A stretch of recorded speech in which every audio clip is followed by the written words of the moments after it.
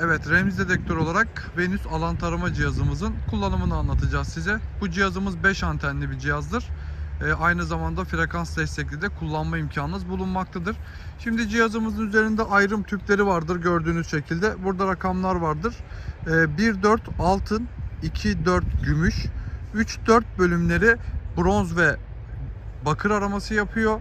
4 numarası kristal, mineral 5 numarada boşluk aramalarında kullanılıyor. Şimdi biz cihazımızı 2-4 konumuna ayarladık.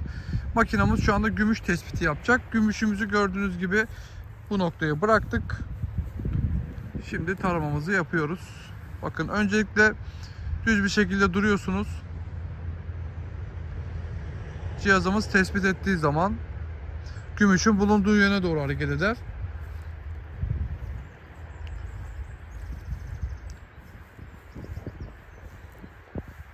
Tam hedefin üzerine geldiğimiz zaman cihazımız tam tur dönmeye çalışır. Antenler uzun olduğu için antenleri kısaltırız. Noktalama modunu alırız cihazımızı. Tam üzerindeyken bekleriz. Bakın bu şekilde kendi ekseni etrafında dönmektedir. Üzerinden çıktıktan sonra da antenler tekrardan normal konuma gelmektedir. Bunu farklı noktalardan tekrardan denemeler yaparak tam hedefin bulunduğu noktayı tespit etmeniz gerekiyor. Sadece tek bir noktaya bağlı olarak kullanmayın. Bakın üzerine gelince tekrardan kendi ekseni etrafında dönmeye başlıyor. Şu anda yerdeki gümüş kaplama bir tepsimiz.